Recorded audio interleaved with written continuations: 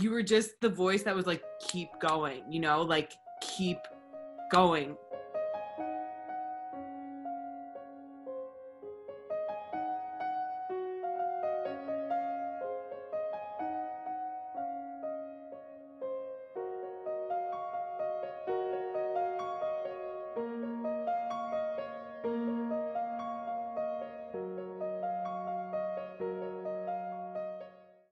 I had been working in tech for almost four years in San Francisco in a very high stress environment as a product manager um, at a company that was growing really quickly. So, to meet kind of the demands of that, I had really sacrificed like my emotional and energetic well being. Um, so during my 200 hour yoga teacher training, I met Heather. Um, she was a facilitator on the training, and I did a session with her in Bali. Um, so the training was kind of like Pandora's box. I realized that perhaps this um, ideal that I had been sold around um, how to live and work and like what my life had to look like wasn't maybe it for me.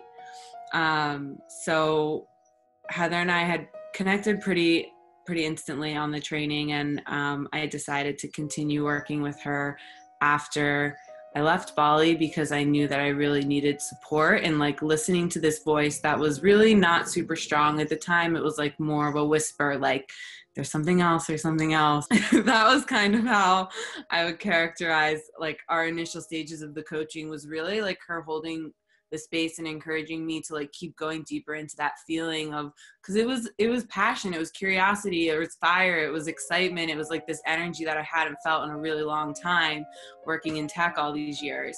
Um, and it was like she really gave me the courage um, to keep going deeper into those questions that felt a little bit crazy but also super exciting. Really i think the most powerful work came from like you know continuing to tune in to what it is that like gives you that initial burst even when like things get difficult and you know a lot comes up when you decide to do something that is hard or different.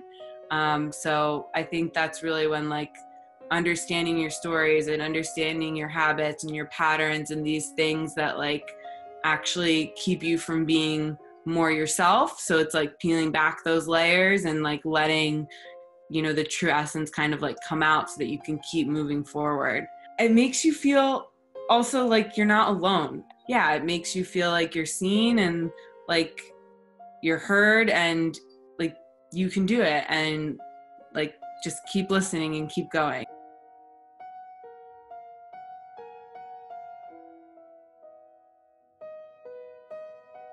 Your ability to energetically understand what people need and and how to to be there in a way that's not imposing like i think is really really unique and like we don't have enough people like you're not pushing your own agenda in any way you know? Like you you feel into what the person needs and like you let them i mean i did the work like i i did it because you were there showing me and helping me and guiding me and like being on my team but like there's no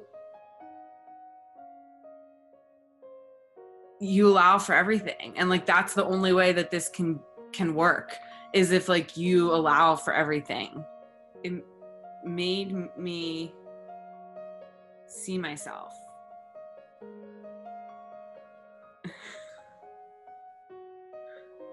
Yeah